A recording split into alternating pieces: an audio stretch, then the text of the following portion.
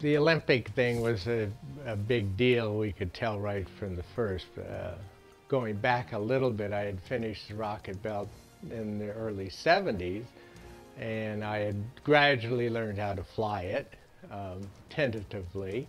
And when the Olympic thing came along, I thought, oh boy, I'll be, this will be great. I'll do it myself. So I zipped down there and went up to the top of the uh, Coliseum and looked down and I thought, no way, not me. so I called Bill Suitor, who was the ace rocket belt pilot guy that we had been using. Nelson starts pleading with me. And so there's no problem. Whatever you need, you got it.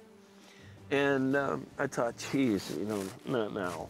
For the flight, I was to take off from the top of the peristyle in the Coliseum, which is 90 feet above the uh, playing field. They insisted that we be all strapped in and ready to fly long before we needed to be. And you really don't want to pressurize the belt early, but we had to. And in the hot sun, the pressure kept rising. Now, the higher the pressure gets, the more powerful the, the thing is.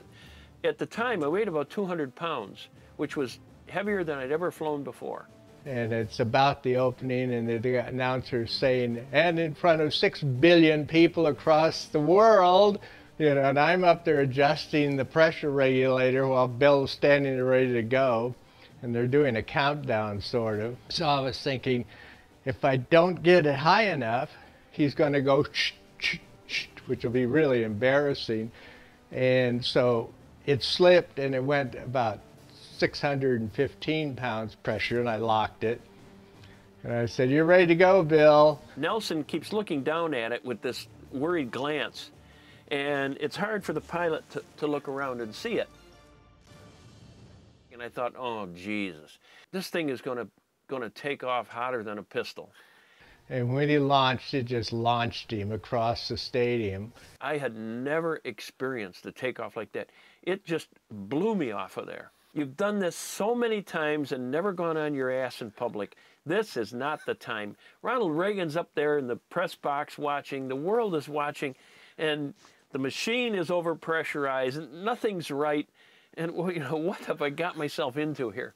I could feel the power I had, and I knew I, you know, Houston, we got a problem here. We've got more power than we can use.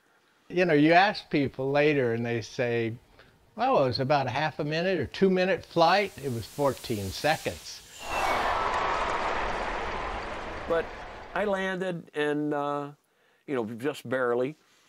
Um, did the wave, did the whole thing, and then that was it. It was over. It, it was the biggest moment in my life, and it was over.